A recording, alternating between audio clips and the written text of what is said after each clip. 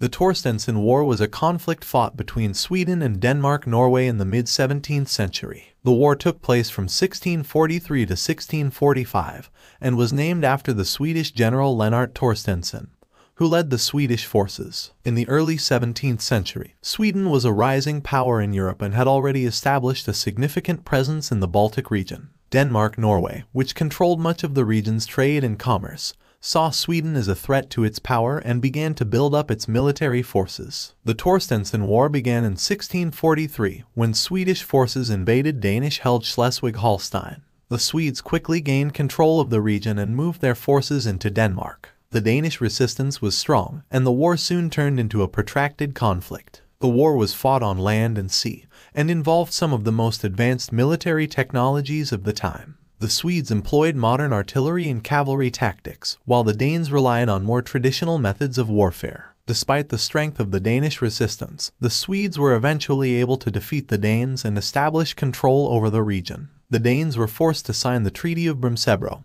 which recognized Swedish control over Schleswig-Holstein and other territories. The Torstenson War had significant political and economic consequences for Sweden and Denmark-Norway. For Sweden, the war was a major victory and helped to establish its position as a dominant power in the Baltic region. The success of the war also had domestic political consequences, as it helped to bolster the reputation of the Swedish government and monarchy. For Denmark-Norway, the war was a humiliating defeat and marked the beginning of a long period of decline. The loss of Schleswig-Holstein was particularly significant, as it represented a strategic and economic asset for Denmark. The Torstenson War was a significant event in the history of Sweden and Denmark-Norway. It marked the beginning of Swedish dominance in the Baltic region and established Sweden as a major European power. The war had lasting political and economic consequences for both countries, and its legacy can still be seen in the region today.